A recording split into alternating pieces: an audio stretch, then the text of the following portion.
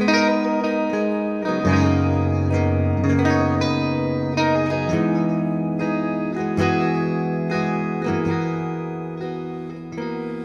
let's face it, this was never what you wanted.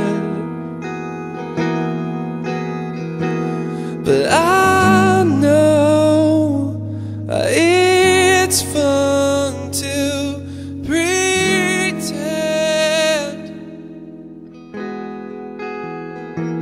But now blank stares and empty threads